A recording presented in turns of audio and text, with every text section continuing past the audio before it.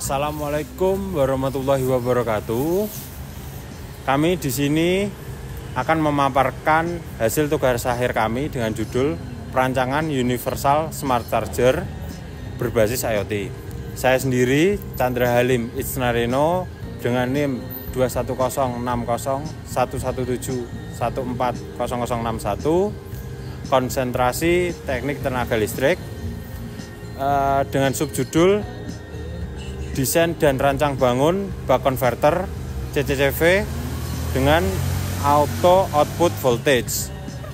Dan saya Muhammad Brian Regi Pratrama dengan NIM 210601117140095 dari konsentrasi kontrol dan instrumentasi.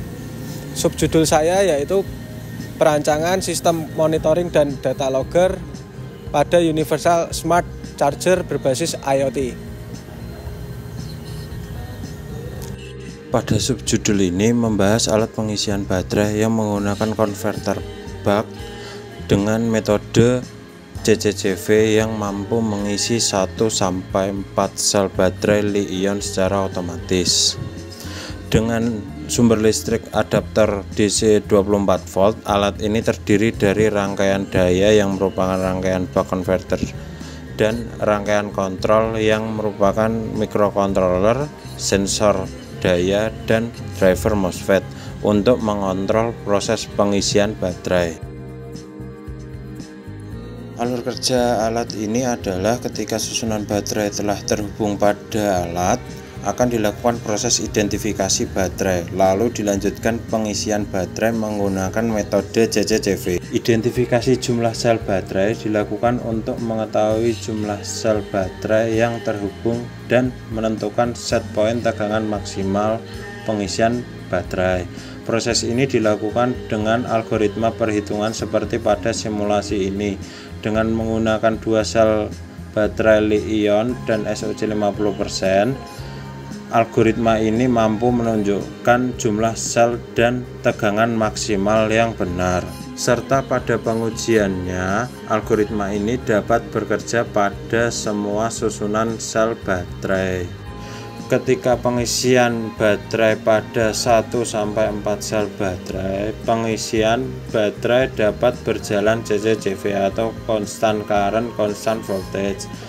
Terlihat grafik tegangan pengisian pada semua sel baterai naik sampai konstan pada tegangan maksimal yang sesuai jumlah sel baterai serta grafik arus pengisian stabil pada awal pengisian baterai. Ketika tegangan pengisian baterai sudah pada titik maksimumnya grafik arus pengisian kemudian turun. Subjudul saya saya akan memonitoring pengisian pengisian daya baterai menggunakan data logger. Prinsip data logger sendiri adalah sebuah perangkat elektronik yang berfungsi untuk menampilkan data hasil rekam dan menyimpan data dalam jangka waktu yang telah ditentukan.